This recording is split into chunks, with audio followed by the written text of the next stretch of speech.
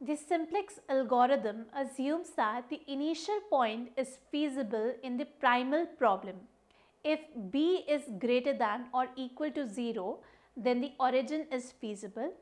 If the origin is not feasible, then it is necessary to determine some other initial point that is feasible.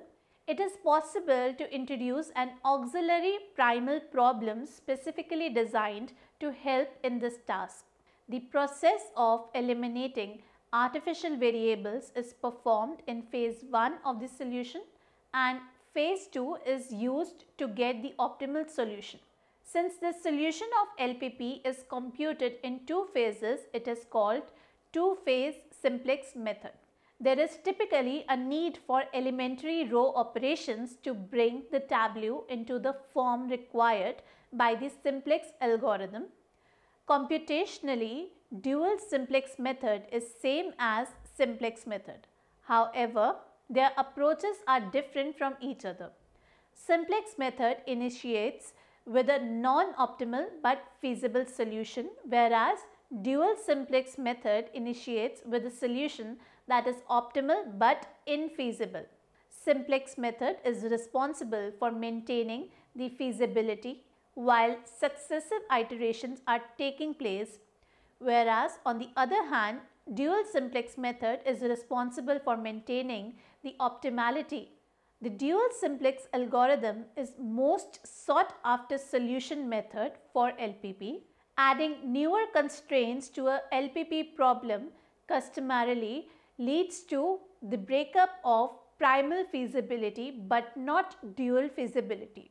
The dual simplex can be used for frequent re-optimization barring the requirement of searching solutions of new primal basic feasible this is of the most use in integer programming where the use of cutting plane techniques require the introduction of newer constraints at the various stages of the branch and bound cut or price algorithms.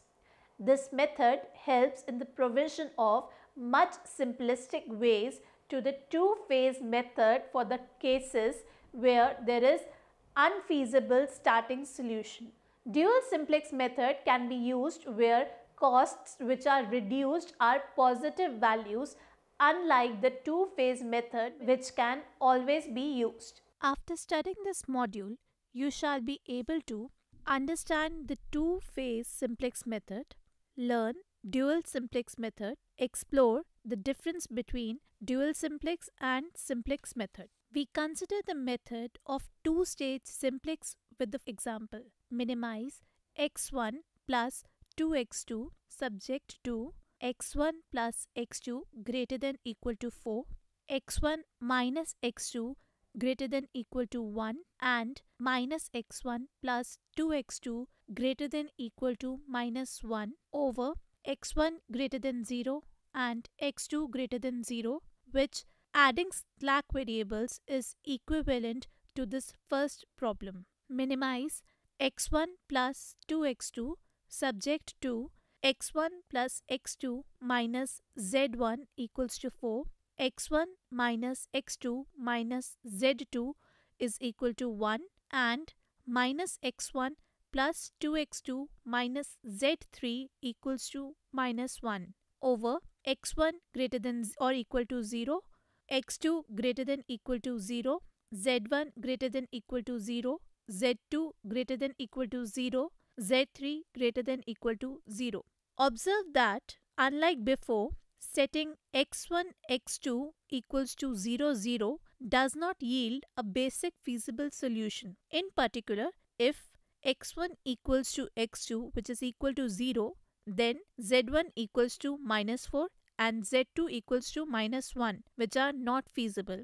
So, we need to find a basic feasible solution to start from. The trick is to solve a different optimization problem whose optimal solution is a basic feasible solution for our original problem. For example, we consider the second problem that is to minimize y1 plus y2 subject to x1 plus x2 minus z1 plus y1 equals to 4 x1 minus x2 minus z2 plus y2 equals to 1 and third that is minus x1 plus 2x2 minus z3 equals to minus 1 over x1 greater than equal to 0, x2 greater than equal to 0, z1 greater than equal to 0, z2 greater than equal to 0, z3 greater than equal to 0, y1 greater than equal to 0 and y2 greater than equal to 0.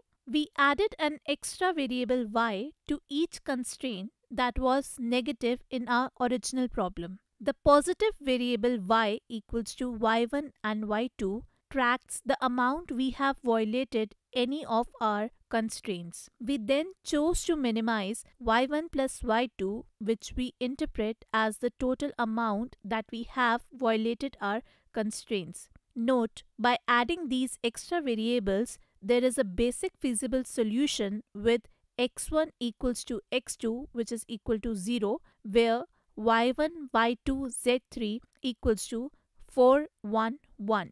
So, we can now solve the second problem using the simplex algorithm. Both problems have the same number of non-zero entries in a basic feasible solution, namely 3. There is a feasible solution to the first problem if the optimal value of the second problem is 0. Thus, once we have solved the second problem, we will be at a basic feasible solution where y1 equals to y2 which is equal to 0. Removing variables y1 and y2, this is then a basic feasible solution to the first problem. All the violated constraints are satisfied and there are the right number of non-zero terms. So, we should solve this problem in two phases. Phase 1. In this phase, the simplex method is applied to a specially constructed auxiliary linear programming problem leading to a final simplex table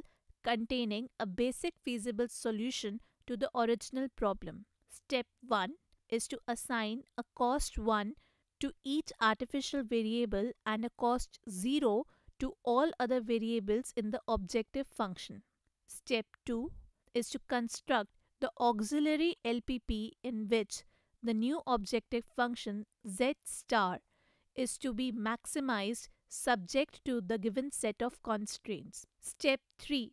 Solve the auxiliary problem by simplex method until either of the following three possibilities do arise. First, maximize z star less than 0 and at least one artificial vector appear in the optimum basis at a positive level that is delta j should be greater than equal to 0. In this case, given problem does not possess any feasible solution. Second, maximize z star equals to 0 and at least one artificial vector appears in the optimum basis at a zero level. In this case, proceed to phase 2. Third, maximize z star equal to 0 and no one artificial vector appears in the optimum basis. In this case, also proceed to phase 2. So now we can solve this problem using the simplex algorithm in phase 1.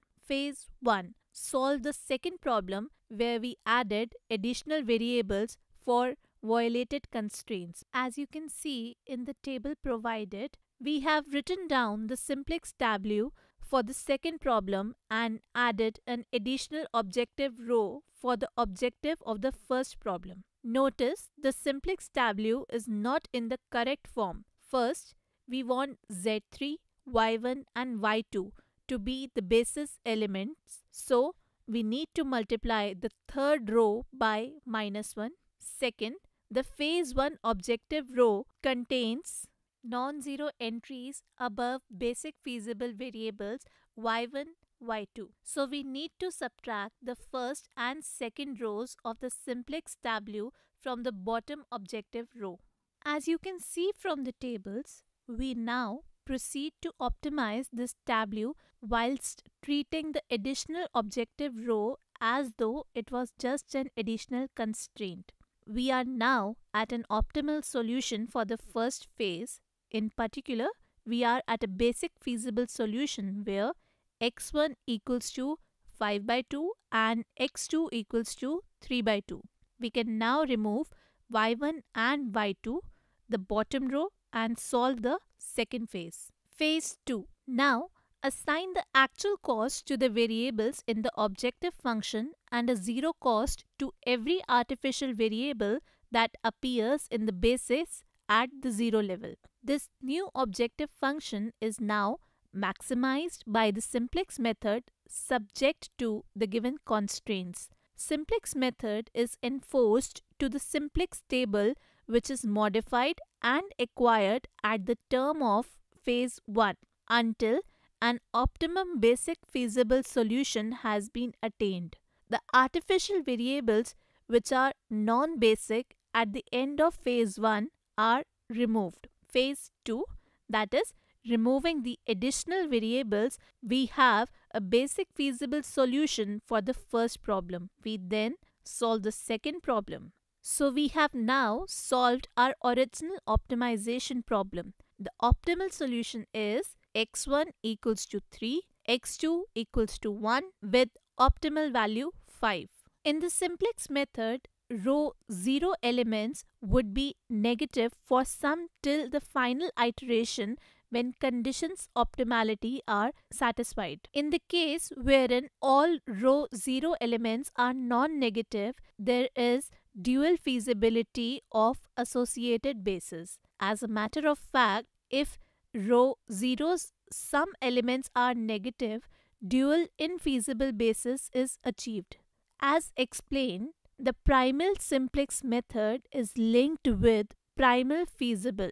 However, dual infeasible basis. The basis is both primal as well as dual feasible at the final optimal solution. Primal feasibility and drive towards dual feasibility is maintained all through the process. Questions for which availability of an initial dual feasible solution is there, dual simplex algorithm are most apt for such kind of problems. Specifically, it is fruitful to re-optimize a problem post the addition of a constraint or post modification of some parameters so as feasibility of previously optimal basis is no longer there. Suppose we are given the LPP problem to minimize z which is equal to 2x1 plus 3x2 plus 4x3 plus 5x4 subject to the constraints of x1 minus x2 plus x3 minus x4 greater than equal to 10 x1 minus 2x2 plus 3x3 minus 4x4 greater than equal to 6 3x1 minus 4x2 plus 5x3 minus 6x4 greater than equal to 15 and x1 x2 x3 x4 all greater than equal to 0. Steps involved in the dual simplex method.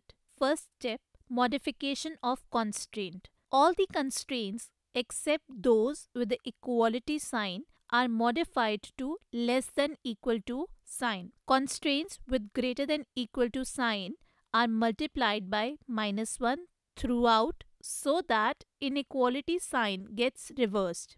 Finally, all these constraints are transformed to equality sign by introducing required slack variables. In the above LPP example, if we would have inequalities of less than equal to instead of greater than equal to, then the usual simplex would work nicely. The two-phase method is more tedious. Step 2. Checking modified problem. Modified problem as in step 1 is expressed in the form of a simplex tableau if all the cost coefficients are positive that is optimality condition is satisfied and one or more basic variable have negative values that is non-feasible solution then dual simplex method is applicable. Considering the LPP example, all coefficients in z equals to 2x1 plus 3x2 plus